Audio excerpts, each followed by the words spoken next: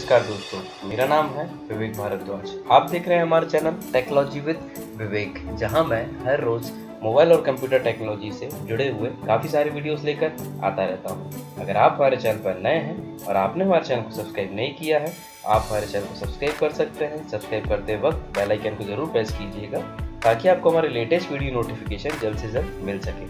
आइए दोस्तों, आज का वीडियो शुरू करते हैं। जैसा कि हमने एक श्रृंखला चलाई है I F M S portal से संबंधित। उसी क्रम में आज हम इस पोर्टल का एक और महत्वपूर्ण वीडियो लेकर आए हैं।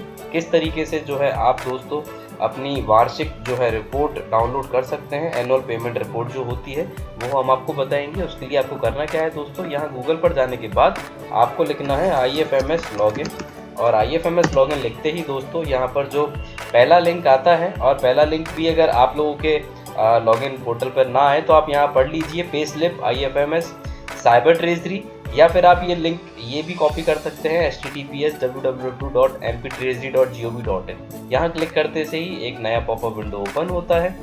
पॉपअप विंडो ओपन होने के बाद हम इसको यहाँ से लॉगिन करेंगे।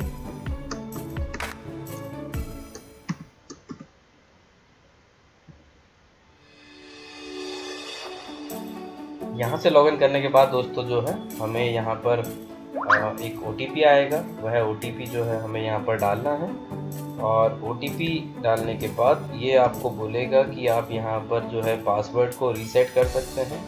आप पासवर्ड को चेंज कर सकते हैं और अगर आप ऐसा नहीं करना चाहते हैं तो आप सीधा सा यहाँ होम पर क्लिक कर सकते हैं। यहाँ होम पर क्लिक करने के बाद जो है दोस्तों, आपको ये दिख रहा होगा H R M I S home का ऑप्शन एम्प्लॉय सेल्फ सर्विस यहाँ आपको क्लिक करना है।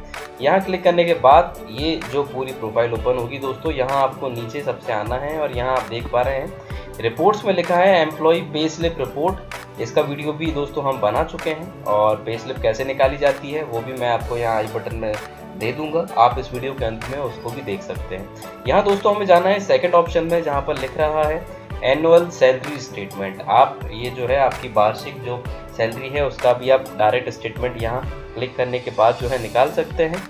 आपको करना क्या है? आपको सिर्फ़ जो है आ, उस वर्ष का जो हम कहते हैं उस वित्तीय वर्ष पर क्लिक करना है जिस जिस वित्तीय वर्ष का आप जो है स्टेटमेंट निकालना चाहते हैं। और आप जैसे ही उस वित्तीय वर्ष को सिलेक्ट करेंगे, देखिए ईयरली स्टेटमेंट आ गया है।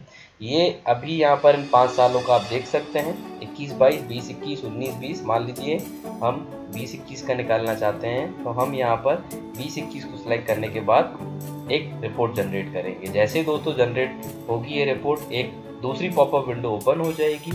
उसमें जो है आपकी पूरी जानकारी पूरे 12 महीने में आपकी जो भी सैलरी आई है साथ साथ आपको जो अलग से भुगतान होता है चाहे वो एरियर का भुगतान हो या आपको जो भी अलग से आ, आ, कह सकते हैं कि जो इंक्रीमेंट होते हैं जो चेंजेस होते हों वो मिलने वाले हों।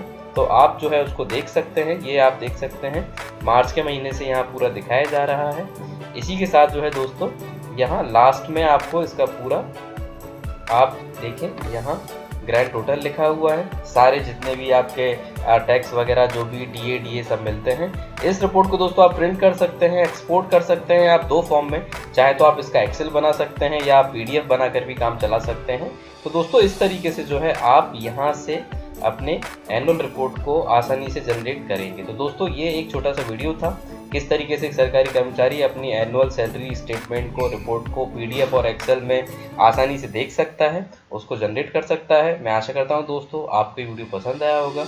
इस वीडियो को ज़्यादा ज़्यादा से ज़्यादा शेयर कीजिए लाइक कीजिए कमेंट कीजिए चैनल को सब्सक्राइब कीजिए। मेरा नाम है विवेक भारद्वाज। Thank you